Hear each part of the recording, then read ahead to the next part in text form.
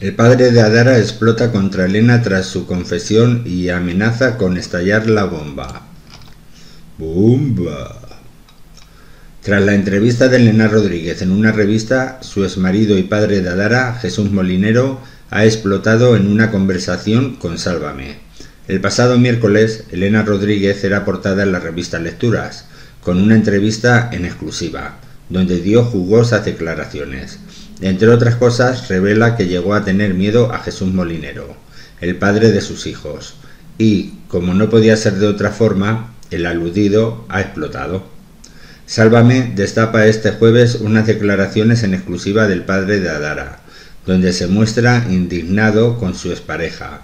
Según él, lo que ha hecho Elena es muy bajuno, además de que no ha dicho ni una P. puntos suspensivos, verdad. En la entrevista, la exconcursante de Supervivientes le pide que pare de sus ataques y que no abra el melón.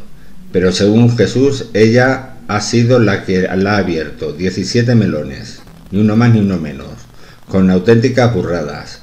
¿Cómo es tan sinvergüenza? Se pregunta Jesús de su ex. Elena también revela que un día tuvo que imponerle a Jesús que o se llevaba a sus dos hijos o no se llevaba ninguno, y él no entiende nada. ¿Que mi hijo no se quería venir conmigo? ¿Cómo es tan sinvergüenza?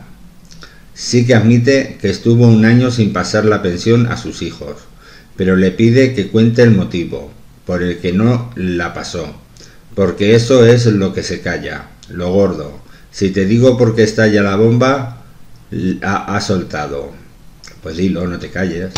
¿No ves? Aquí en este momento es cuando nos dejan con, la miel en, los labios. Que dicen eh, que te voy a decir la bomba y no la sueltan. Pues esto es para que el sábado de luz los contrates y ven la pasta y ahí pues sueltan todo. Pero aquí en una noticia de estas pues no sueltan nada. Como no le sueltan pasta, pues ahí está. Seguimos. Además Jesús se pregunta cómo su expareja, siendo mileurista, tiene ya pagado un piso que valdrá 400.000 o 450.000 euros. Tiene tanto que callar, sentencia Jesús. Por otro lado, el padre de Aitor y Adara cree que Luis, la expareja de Elena que supuestamente muy mal trató a sus hijos, tanto a ella como a sus hijos, también podría tomar medidas legales contra ella.